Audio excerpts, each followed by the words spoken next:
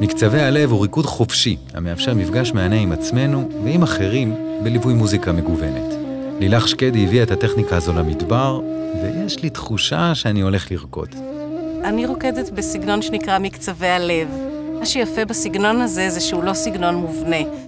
אה, אני, כשאני רוקדת במדבר, אה, אני משלבת שתי אהבות מאוד גדולות שלי. אני מאוד מאוד אוהבת לרקוד, ואני מאוד מאוד אוהבת ריקוד חופשי.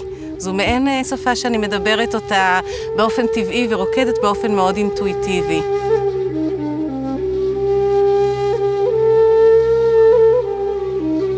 אני מאוד מכוונת לתקשורת בתנועה, לתנועה שיש בה קצת מגע וקצת הקשבה אחד לשני.